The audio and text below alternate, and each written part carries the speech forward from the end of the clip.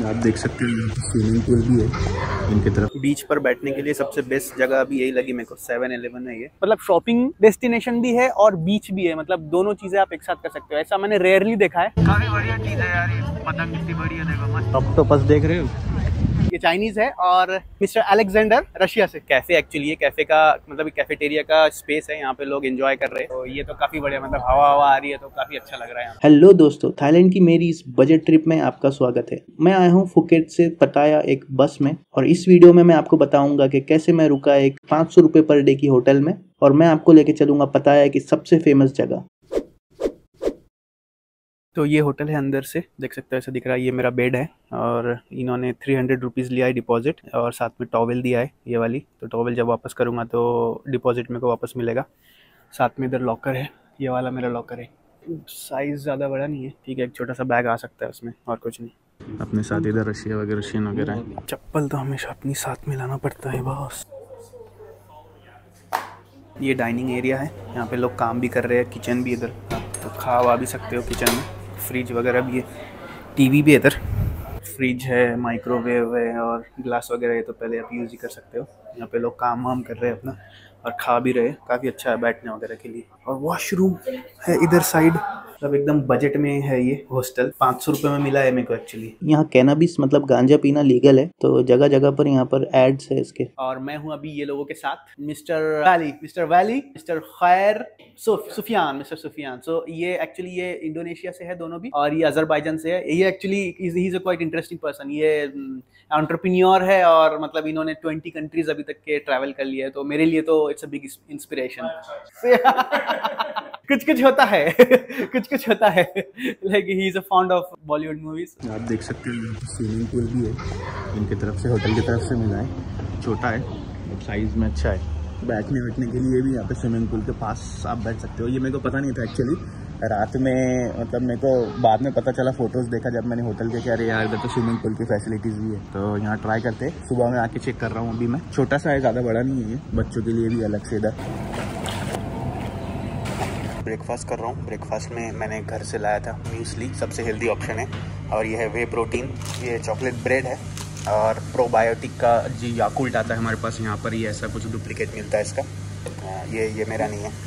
और यहाँ पे ये एरिया है। तो ब्रेकफास्ट करके मैं निकल पड़ा हूँ सिटी के सबसे बेस्ट बीच की तरफ़। ये तो डोंगस्टन बीच है मेरे हॉस्टल के पास ही है। लेकिन मैं जा रहा हूँ कोई और बीच जिसे सेंट्रल पटाया का बीच कहते हैं। बीच पर बैठने के लिए सबसे बेस्ट जगह अभी यही लगी मेरे को। सेवन एलेवन है ये। सेवन एलेवन स्टोर है यहाँ से मैंने ये लिया है। नेस कैफी लिया है कॉफ़ी और ये एक बर्गर लिया है। चीज़ और फ़िश बर्गर है और साथ में आप देख सकते हो बीच है। सबसे सस्ता इंजॉयमेंट है अदरवाइज़ मैंने यहाँ पे देखा है बीच के पास बहुत महँगे महँगे चीज़ें बेचते हैं लोग। अगर समझो आप पटाया में हो और आपको बीच एंजॉय करना है तो आप ये जोमटियन नाम का बीच है डोंगस्टन नाम का बीच है, यहाँ पे आप आ सकते हो। सेवनटीन बात की मेरे को कॉफ़ी पड़ी है, और ये जो बर्गर है, आप देख रहे हो, ये ऐसे पैकेट में आता है। ये मैंने फोर्टी टू में लिया है, कुछ हंड्रेड रुपीज़ का मेरे को पड़ा है। खास बात है सेवन एलेवन में ना, ऐसे आपको पैकेट में बर्गर मिलते हैं, आप डायरेक्ट आप आपके हाथ से उठा लो, और वो आपको माइक्रोवेव में गर्म करके दे देते हैं। कुछ नहीं मिल रहा है ना तो सेवन एलेवन का burger is only option cannabis मतलब गांजे की दुकान है यहाँ पर तो। मैंने सोचा था मैं टैक्सी लेके जाऊँगा लेकिन ये शेयरिंग रिक्शे के बारे में मेरे को पता चला जो कि चालीस रुपए में मेरे को सेंट्रल पटाया तक छोड़ देगा। फाइनली पहुँच गया सेंट्रल पटाया। यहाँ पर एक मार्केट भी है जहाँ से आप बहुत सारी चीज़ें खरीद सकते हो इसका नाम है शॉपिंग आर्केड और इसके बाहर निकलते से इधर बीच है।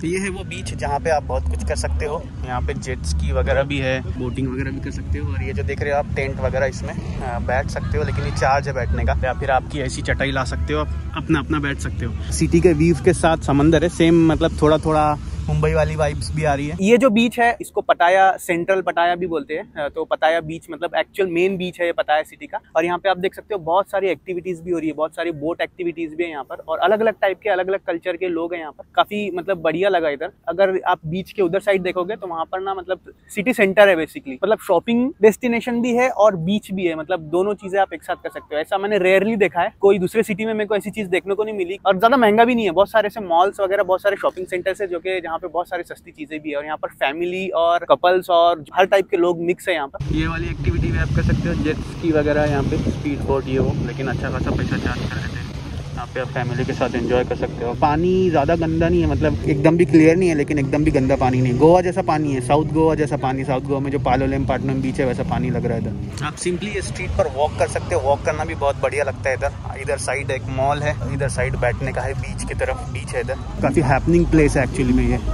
यहाँ कुछ तो फेस्टिवल चल रहा है तो कुछ अलग टाइप के पतंग उड़ा रहे हैं और हर टाइप के लोग दिखेंगे आपको। फैमिली के लिए सबसे बेस्ट बीच है ये। ये कुछ तो यूनिक होटल लगी है मेरे को। यहाँ पर देख रहे हो, हाफ़ कार, पुरानी वाली कार कुछ तो बनाया गया है। कैडीलैक कैफ़े एंड बार इसका नाम है। पतंग है या पता नहीं क्या है, एक इससे बंधा हुआ है और अपने आप उड़ रहा है वो जैसे जैसे हवा आ रही है तो। मस्त लग रहा है पर। काफ़ी बढ़िया चीज़ है यार पतंग कितनी बढ़िया देखो, मस्त लग रहा है।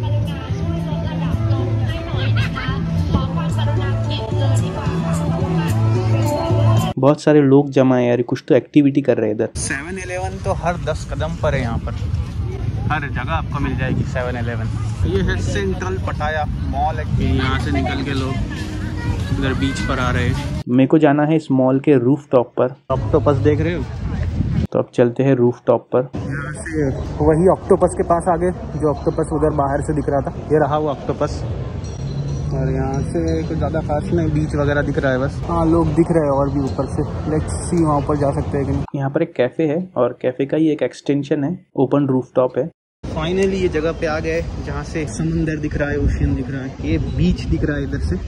अमेजिंग ये मॉल का एंट्रेंस था, यहाँ से आए थे। ये ऑक्टोपस है सेंट्रल पटाया ये मॉल है। सनसेट तो काफ़ी बढ़िया लग रहा है इधर। अभी हम इसके रूफ टॉप पर आ चुके हैं। आप देख सकते हो, पीछे बीच भी बहुत बढ़िया है। और यहाँ पर मतलब ये कैफ़े का एरिया है, उस पर लिखा हुआ था वहाँ पे कैफ़े वालों को एंट्री है, लेकिन मैं भी आ गया हूँ और सनसेट भी काफ़ी बढ़िया है बैठ के सनसेट देख सकते हो। पचास फिफ्टी परसेंट लोग ना यहाँ पे ऐसे ही बैठे हुए हैं। सिर्फ़ फिफ्टी परसेंट ही कस्टमर है यहाँ पे। मतलब काफ़ी बढ़िया हवा हवा भी अच्छी आ रही है। इधर सीन भी काफ़ी ये जो पीछे आप मेरा व्यूज़ देख रहे हो, पटाया का सेंट्रल पटाया का जो बीच है, काफ़ी बढ़िया है यहाँ पे। स्टारबक्स का भी कैफ़े रूफ टॉप है। और ऑक्टोपस के सामने ही है काफ़ी बढ़िया मॉल है यहाँ पर, अगर आप पटाया आ रहे हो ना, ये मॉल में आप ज़रूर आना। बहुत बढ़िया यहाँ से। सनसेट देख रहे हो सनसेट का तो कमाल का है सनसेट एक और प्लेस है, ये सीन को एंजॉय करने की एक और प्लेस है। यहाँ से, यहाँ पे कैफ़े पे आने की ज़रूरत नहीं है।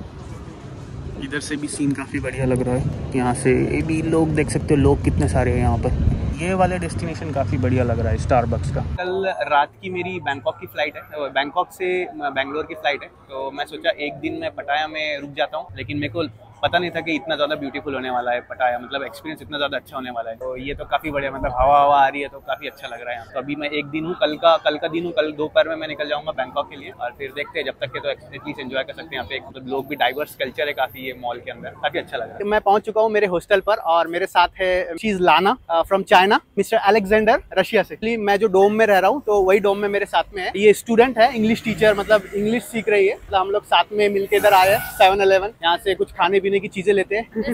तो अभी भाई अभी मैं मेरे को मिला है ये सॉर्ट ऑफ़ नूडल्स है और इसमें कोई टाइप का सॉस है और ये बिरयानी है बिरयानी राइस है श्रिम्स के साथ। तो अगर आपको ये वीडियो अच्छा लगा है तो मेरे चैनल को सब्सक्राइब कर देना एंड थैंक्स फॉर वॉचिंग